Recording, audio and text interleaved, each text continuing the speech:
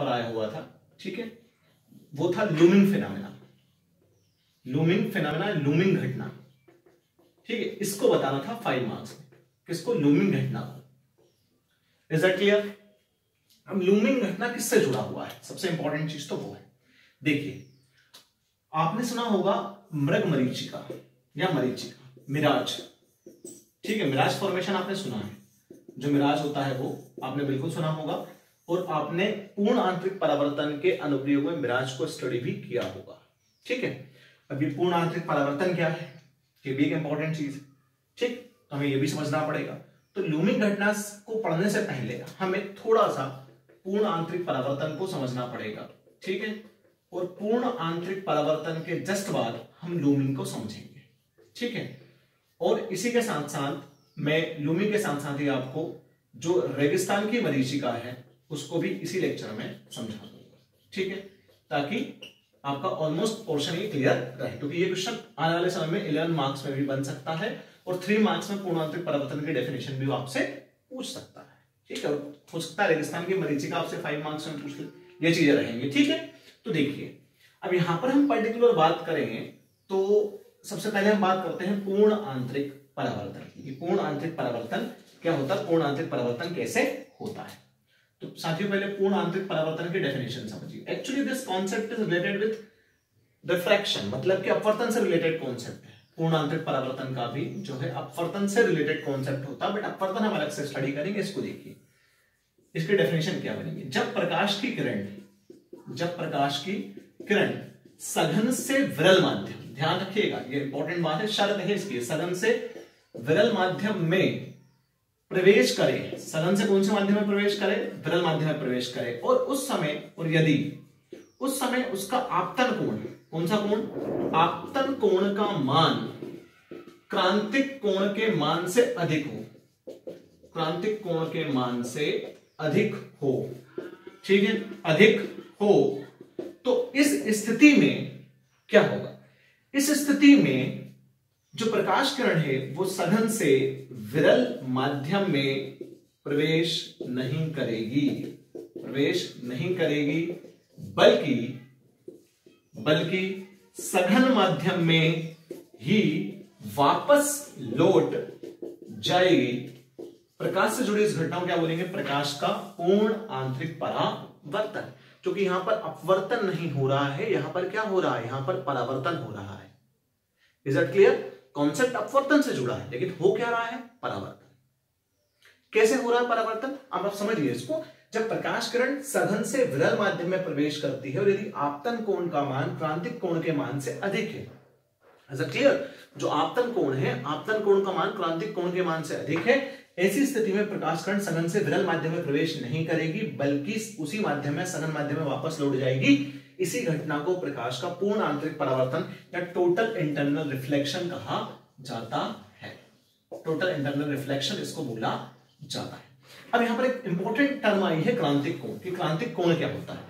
ठीक है three marks में आपसे क्रांतिक कोण की डेफिनेशन भी पूछी जा सकते हैं, और आपसे पूर्णांतरिक परावर्तन भी पूछा जा सकता है थ्री मार्क्स में तो आप इतना कर दीजिएगा। फाइव मार्क्स में भी आ सकता है, इसका डायग्राम भी बना के बताऊँगा मैं अभी आपको, लेकिन पहले हम क्रांतिक कोण को समझते हैं, उसका हम इसका डायग्राम बनाते हैं। ठीक है तो पहले आप क्रांतिक कोण की डेफिनेशन समझ लीजिए, उसके बाद हम इसका डायग्राम बनाएँगे। ठीक है? तो पूर्ण आंतरिक परावर्तन के लिए दो शर्तें हैं।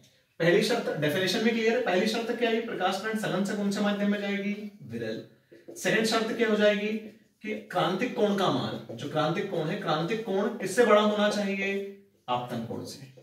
सॉरी आपतन कोण किससे बड़ा होना चाहिए? क्रांतिक कोण से। ऐसा है उल्टा बता रहा था। आपतन कोण क्रांतिक कोण से बड़ा होना कोण से बड़ा होना चाहिए। क्लियर तब जाके घटना होगी। अब क्रांतिक कोण क्या होता है?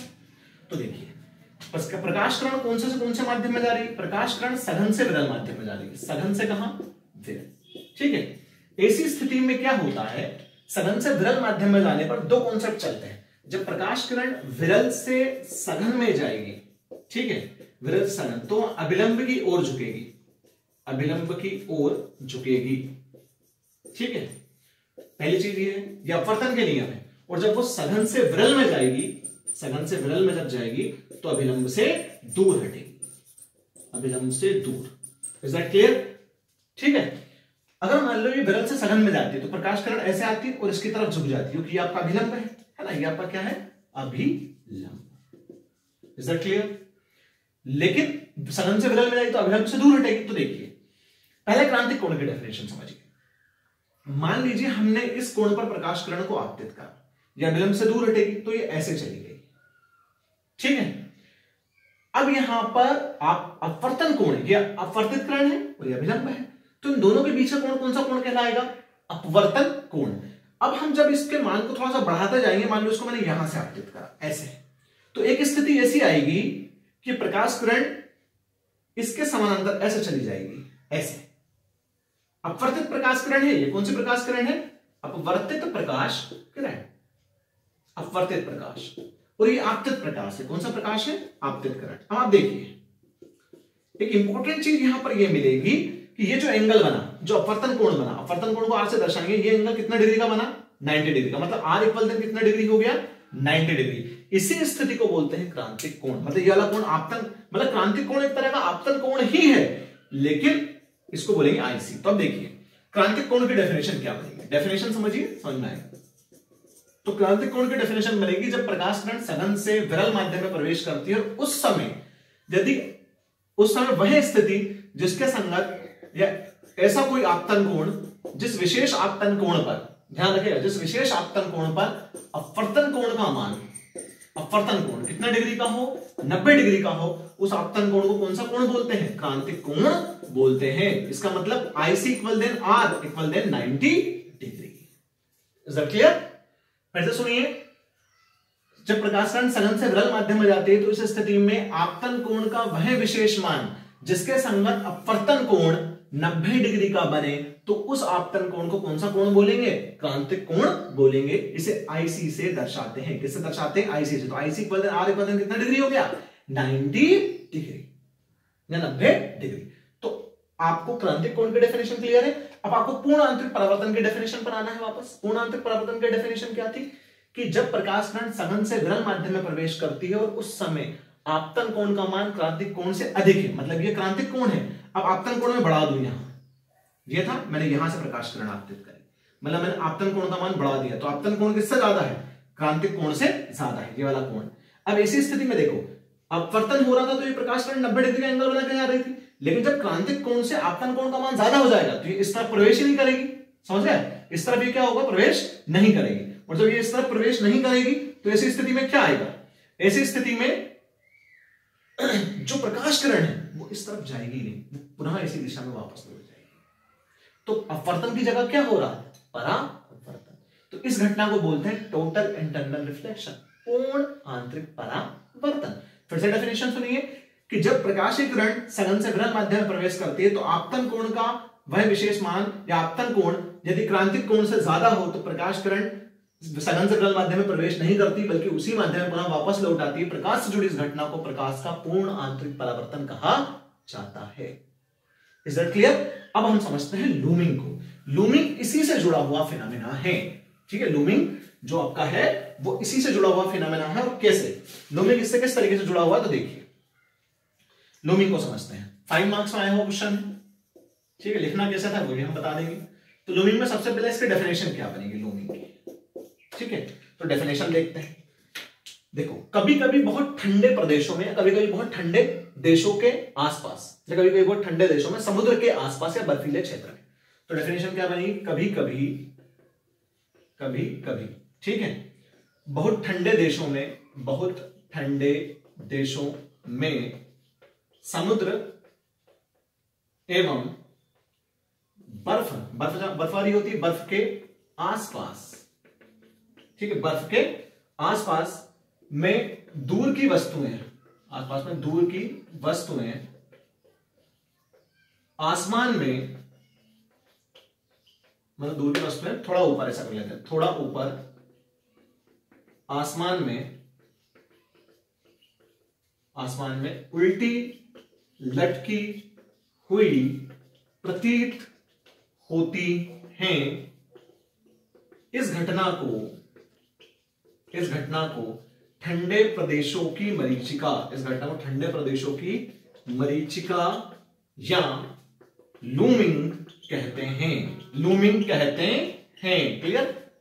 तो डेफिनेशन क्लियर है पूरी की पूरी? कि कभी कभी ठंड, बहुत ठंडे देशों में समुद्र या एवं बर्फ़ के आसपास में, दूर की वस्तुएँ, आसपास के क्षेत्र में ऐसा भी कर सकते थे, क्षेत्र में दूर की वस्तुएँ थोड़ा ऊपर आसमान में उल्टी लटकी हुई प्रतीत होती हैं। इस घटना को ठंडे प्रदेशों में मरीचिका लूमिंग कहा जाता है। क्लियर ये इसकी डेफिनेशन हो गई। ऐसा क्यों होता है? इसके पीछे का रीजन क्या है? वो भी हमें समझना पड़ेगा कि इसके पीछे का रीजन क्या है। ऐसा क्यों होता है लूमिंग में? देखो, अब हम बात करते हैं लूमिंग जो है। ये डेफिनेशन सिद्धांत। तो लूमिंग किस सिद्धांत पर आधारित है? लूमिंग जो है प्रकाश के पूर्ण आंतरिक परावर्तन पर आधारित है। पूर्ण आंतरिक परावर्तन पर आधारित एक घटना है। है ना? किस पर आधारित घटना है? पूर्ण आंतरिक परिवर्तन पर आधारित एक घटना है। कैसे? ठीक है? तो समझते हैं लूमिंग को साथियों। इतना क्लियर है? आप इतना लिख देंगे, उसके जस्ट बाद आप सब डायग्राम बना के दो तीन लाइन आप लिख देते फाइव मार्क्स में तो ये पूरे नंबर मिलते हैं, लेकिन आपको पूरा एट यहाँ पर क्लियर कर दे रहा हूँ कैसे चीज़ें होती है। तो देखिए ठंडे प्रदेशों में क्या होता है? इससे आगे बढ़ते हैं।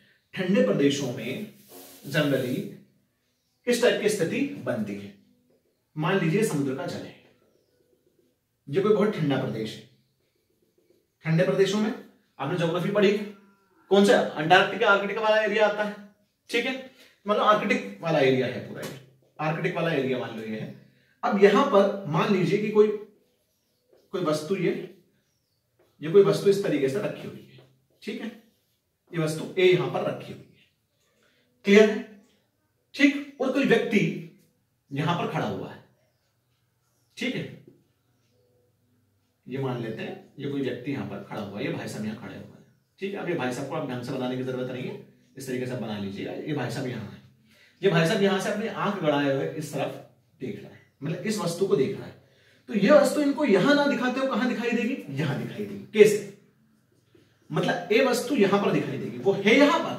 वो कहाँ पर है? समुद्र की सतह पर है। समझ गए? जल है, जल वाला पोर्शन ये समुद्र की सतह पर है। लेकिन वो कहाँ दिख रही है? यहाँ पर। कैसे दिख रही है?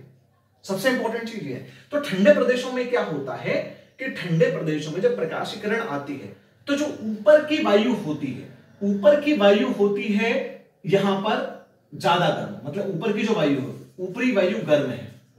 है ना? ऊपरी वायु कैसी है? गर्म। और जो यहाँ पर निचली सतही वायु जो है, सतही वायु कैसी है? ठंडी है। ध्यान रखिएगा, सतही वायु कैसी? ठंडी। अब जो माध्यम ठंडा है, वो मतलब कैसा है? सघन। जो माध्यम गर्म है, वो कैसा है? विरल। ध्यान रखिएगा, जो ठंडा है, वो कैसा है? सघन है। और जो गर्म है, वो कैसा है? विरल है। तो ऐसी स्थिति में क्या होगा? ये इंपॉर्टेंट चीज़ है। तो ऐसी स्थिति में क्या होगा? इस वस्तु से जो प्रकाश करने चलेंगी, मान लो इस वस्तु से प्रकाश करने चल रही है। मैं इसको इस वजह से रिप्रेजेंट करता हूँ। इससे प्रकाश करने चली ठीक है? तो ये प्रकाश करने और ध्यान रखिएगा जो माध्यम विरल होता है उसका अपवर्तनांक ज़्यादा होता है और जो माध्यम सघन होता है उसका अपवर्तनांक कम होता है। ठीक है? अपवर्तनांक भी आप पढ़ोगे लेकिन आप इतना फिनोमेना समझिए। कि प्रकाश किरण नीचे के सघन माध्यम से कौन से माध्यम में जा रही है? विरल माध्यम क्योंकि नीचे से इस तरफ़ जा रही है। तो प्रकाश किरण सघन माध्यम से मतलब इस वस्तु से निकलने वाली। प्रकाश किरण सघन से कौन से माध्यम में जाएगी? विभिन्न परतों होते हुए विरल माध्यम में। लेकिन ऐसा हो नहीं पाता क्योंकि प्रकाश किरण सघन से विरल माध्यम में प्रवेश नहीं कर पाती हैं, बल्कि पूर्ण आंतरिक परावर्तन की घटना के कारण ये इसी दिशा में यहाँ पर वापस परावर्तित हो जाती है। मतलब इस वाले एरिया से क्या हुई है? यहीं पर परावर्तित हो गई। परावर्तित किरणें। अब क्या होगा जब ये व्यक्ति यहाँ से देखेगा? तो ये किरणें से यहाँ से आते हुए नहीं दिखाई देंगी। ये किरणें से यहाँ से आते हुए दिखाई देंगी, ये आभासी। ये आभासी प्रतिबिंब बनता है। तो ऐसे क्या लगेगा कि ये जो वस्तु है, ये आसमान में कैसी लटकी है? उल्टी लटकी है। तो कोई जहाज़ वगैरह जो भी होता है, वो से आसमान में कैसा दिखाई देता है? उल्टा लटका हुआ प्रतीत होता है। तो ठंडे प्रदेशों की मरीचिका इसी को हम क्या बोलते हैं? लूमिंग की घटना बोलते हैं, या लूमिंग कहा जाता है। तो इसको पूरा समझिए, किसके आगे और कैसे लिखेंगे ठीक है, मैंने जो बताया वो तो आपको क्लियर है कितना लिखना था। पूर्णांतरिक परिवर्तन पर आधारित है, लेकिन और इसको आगे कैसे लिखेंगे? तो जब ठंडे प्रदेशों में जल की सतह के समीप की जो वायु होती है वो अपेक्षाकृत कैसी होती है? ठंडी। ऊपर की वायु कैसी है? गर्म। नीचे की वायु ठंडी है, इसलिए माध्यम कैसा है? सघन। ऊपर की वायु गर्म है, इसलिए माध्यम कैसा है? विरल। तो जो वस्तु से चलने वाली प्रकाश किरणें सघन से कौन से माध्यम में जा रही विरल। तो सघन से जब विरल माध्यम में जाती है तो पूर्ण आंतरिक परिवर्तन के कारण वो सघन से विरल माध्यम में नहीं जा पाती है, बल्कि प्रकाश किरणें परावर्तित हो जाती है। देखिए, ऐसे कहीं, अब जाना इनको ऐसा था इस तरीके से। लेकिन वो परावर्तित हो जाती। है क्यों? क्योंकि इससे इस माध्यम में जा ही नहीं पाती हैं। क्योंकि आपने पढ़ा है कि वह अभिलंब से क्या होती है? दूर हटती हैं। अभिलंब से क्या होगा? दूर हटेगी। जो सघन से विरल माध्यम में जाएँगी प्रकाश की किरणें तो अभिलंब से क्या होगा? दूर हटेगी। तो कुछ किरणें अभिलंब से दूर हट जाती है। और अगर क्रांतिक कोण का मान आपतन कोण से ज़्यादा हो, हो मतलब आपतन कोण का मान क्रांतिक कोण से ज़्यादा हो जाता है सॉरी तो उस स्थिति में क्या करेंगी? परावर्तित हो जाएँगी। तो ये प्रकाश किरणें यहाँ आएँगी। तो इस व्यक्ति को जब ये देखेगा तो इसको ये वस्तु जो है यहाँ पर उल्टी लटकी प्रतीत होती है। इसी को ठंडे प्रदेशों की मरीचिका कहा जाता है। तो उस पॉइंट से आगे आपको कितना लिखना था? उस पॉइंट से आपको आगे इतना ही लिखना था कि ये सतही वायु ठंडी होती है, इसलिए सघन होती है। ऊपरी की वायु गर्म होती है, इसलिए विरल होती है। जब इस वस्तु से चलने वाली प्रकाश किरणें सघन से विरल माध्यम में प्रवेश करती है तो अभिलंब से दूर हट जाती है एवं कुछ किरणें जो है पूर्ण आंतरिक परावर्तित भी हो जाती है, जिसकी वजह से व्यक्ति को ये प्रकाश किरणें, जो जिस जगह से आ रही है, वहाँ से आती हुई न प्रतीत होकर ऊपर से आती हुई प्रतीत होती है। इसलिए उसे ये वस्तु या ये जो भी मतलब जहाज़ वगैरह जो भी रहेगा, वो आसमान में उल्टा लटका हुआ प्रतीत होता है। ये ठंडे प्रदेशों की मरीचिका। मतलब वहाँ पर कोई चीज़ होती नहीं है, बस उसे क्या होता है? आभास होता है। इतना क्लियर है साथियों? अब देखिए आप। ये तो आपका क्लियर हो गया। इसी के कंपैरिजन में जस्ट इसी कंपैरिजन में, मैं आपको गर्म प्रदेशों की मरीचिका बताता हूँ। मतलब रेगिस्तान की मरीचिका समझते हैं रेगिस्तान की मरीचिका। रेगिस्तान की मरीचिका इससे उल्टा है। रेगिस्तान की मरीचिका क्या है? इससे उल्टा रेगिस्तान की मरीचिका में ऐसा कि यहाँ आपको ऊपर लटकी प्रतीत होगी, लेकिन रेगिस्तान की मरीचिका में ऊपर स्थित वस्तु नीचे दिखाई देगी। कैसे? वहाँ पर भी सेम कॉन्सेप्ट है रेगिस्तान की मरीचिका में। तो रेगिस्तान की मरीचिका में भी क्या होता है? कभी कभी रेगिस्तान में पूर्ण आंतरिक परिवर्तन की घटना के कारण दूर स्थित व्यक्ति को किसी पेड़ या वस्तु जो वहाँ पर रखी हुई रेगिस्तान में, उसका उल्टा प्रतिबिंब नीचे ज़मीन में दिखाई देता है। इसलिए कभी कभार ऐसा लगता है ना कि कोई पेड़ जैसे दूर खड़ा है तो पेड़ किसमें खड़ा है? पानी में खड़ा है। ऐसा कई बार प्रतीत होता है। इसे ही रेगिस्तान की मरीचिका कहा जाता है। फिर से पूरी डेफिनेशन सुनिए। कभी कभी रेगिस्तान में पूर्ण आंतरिक परावर्तन की घटना के कारण वृक्ष का उल्टा प्रतिबिंब दिखाई देता है। ठीक है? वृक्ष का जो उल्टा प्रतिबिंब होने का आभास होता है, दिखाई देता है। इसे ही क्या कहते हैं? रेगिस्तान की मरीचिका के नाम से जाना जाता है। यह घटना भी किस पर आधारित है? यह घटना भी प्रकाश के पूर्ण आंतरिक परावर्तन पर आधारित घटना है। अब जैसा मैंने बोला, वैसा आप लिख लीजिएगा। आपको लिखना हो तो। ठीक है, अब इसमें देखिए, इस यहाँ पर कंडीशन क्या बनती है? मान लो यहाँ पर एक पेड़ है। ठीक है, ये पूरा पेड़ हो गया। ये पूरी इसकी ब्रांचेस बना लेना आप ये पूरा पेड़ है। ठीक है ये जो पूरा पेड़ है हालाँकि खजूर का पेड़ होता है तो थोड़ा सा ऐसे कर देता हूँ, ये लीजिए। नहीं तो कुछ लोग को लगेगा कि पता नहीं कैसा ही पेड़ बना गया है। ठीक है तो इसको इस तरीके से कर लेते हैं थोड़ा सा। ये पूरा इसकी जड़ें हो जाएँगी, ठीक है, पेड़ की, और ये आपका ऐसा पेड़ आपको दिखाई दे रहा होगा। अब यहाँ पर ये ये वाला पूरा जो पोर्शन ये रेगिस्तान की कौन सी ज़मीन है? रेतीली ज़मीन। ठीक है, रेगिस्तान की रेतीली ज़मीन। यह रेगिस्तान की पूरी रेतीली ज़मीन है। ठीक है तो यह आपका रेगिस्तान मतलब रेत। अब रेत क्या करता है? प्रकाश को सोखता है। तो यहाँ पर क्या था? सतही वायु ठंडी, लेकिन यह बहुत ज़्यादा सोखेगा प्रकाश को। मतलब उष्मा को। तो सतही वायु कैसी हो जाएगी? सतही वायु यहाँ पर कैसी होगी? सतही वायु। यहाँ पर जो सतही वायु है, वो कैसी हो जाएगी? गर्म। समझ गए? और यहाँ पर जो ऊपरी वायु है, वो कैसी रहेगी? ऊपरी वायु यहाँ पर हो जाएगी ठंडी। समझ गए? मतलब अपेक्षा तुलना करोगे तो। तुलनात्मक रूप से देखोगे तो नीचे की वायु कैसी है? गर्म। ऊपर की वायु कैसी है? ठंडी। ठीक है? अब आप देखिए, इस स्थिति में देना बनाते हो इस तरीके से इसको बनाते हैं। ठीक है? थोड़ा सा ब्लैक मार्कर समझाता हूँ, समझ में आएगा। अब मान लीजिए यहाँ से कोई प्रकाश किरण चल रही है और व्यक्ति यहाँ खड़ा हुआ है। ठीक है? टोमो अंकल यहाँ खड़े हुए हैं। टोमो अंकल टोमो अंकल यहाँ से देख रहा है। अब टोमो अंकल यहाँ से इसको देख रहा है। तो एक्चुअली ये प्रकाश किरणें कहाँ से कहाँ आ रही हैं? ये प्रकाश किरणें ऊपर की ठंडी वायु से मतलब ऊपर के सघन माध्यम से कहाँ जा रही है? नीचे के विरल माध्यम में मतलब प्रकाश किरणें यहाँ जा यहाँ जाना चाहिए। ठीक है? लेकिन होता क्या है? वही घटना, प्रकाश का पूर्ण आंतरिक परावर्तन। ये प्रकाश किरण नीचे ना जाते पुनः इसी माध्यम में वापस लौट जाती है। मतलब इनका क्या हो जाता है? परावर्तन हो जाता है। समझ गए? तो टोमो अंकल को ये जो वृक्ष है, ये कहाँ दिखाई देगा? यहाँ दिखाई देगा। जब इसको देखेंगे तो थोड़ी हाइट बढ़ा देते हैं इनकी। तो यहाँ यहाँ से इसको ऐसे देख रहे हैं आँख से तो इसको इनको ये यहाँ पर दिखाई देगा। मतलब वृक्ष का पड़ते हुए ऐसा हमको उल्टा यहाँ पर दिखेगा। हालाँकि है नहीं, लेकिन उनको ऐसा दिखाई देगा। तो यहाँ पर ऊपर दिखाई दे रहा था यहाँ पर नीचे दिखाई देता है। इज़ क्लियर तो क्या होगा? हम इसको पूरा एक्सप्लेन करते हैं कि रेगिस्तान में दिन के समय पर क्या होता है? सतही वायु रेगिस्तान की रेतीली ज़मीन क्या कर लेती है? प्रकाश को अवशोषित कर लेती है उष्णों को अवशोषित करती गर्म हो जाती है। इसलिए सतही वायु कैसी हो जाएगी? गर्म गर्म होकर कैसी हो जाएगी? विरल। अपेक्षाकृत ऊपर की वायु कैसी होती है? ठंडी और कैसी होती है? सघन। तो किसी पेड़ से या किसी पेड़ के ऊपर वाले भाग से चलने वाली प्रकाश किरणें सघन से नीचे विरल माध्यम में प्रवेश करती है तो कई बार वो विरल माध्यम प्रवेश नहीं कर पाती पूर्ण आंतरिक परिवर्तन की वजह से पुनः उसी माध्यम में वापस लौट जाती है। इसलिए जब व्यक्ति यहाँ पर इसको देखेगा तो ये पेड़ जो है उसको यहाँ पर उल्टा ऐसे दिखाई देता है। इसे ही रेगिस्तान की मरीचिका के नाम से जाना जाता है। क्लियर साथियों? तो पूर्ण आंतरिक परिवर्तन क्या है? आपका क्रांतिक कोण क्या है? और उसके दो महत्वपूर्ण अनुप्रयोग पूर्ण आंतरिक परिवर्तन के दो महत्वपूर्ण घटनाएँ इस हमारे वायुमंडल से जुड़ी हुई। एक तो रेगिस्तान की मृग मरीचिका और एक आपका लूमिंग फिनोमेना। आपको समझ में आया होगा, ठीक है? मिलते हैं अगले लेक्चर में। आई होप अगर आपको दोनों चीज़ें समझ में आई हैं तो आप वीडियो को लाइक करिए शेयर करिए। मिलते हैं नेक्स्ट लेक्चर में। Thank you so much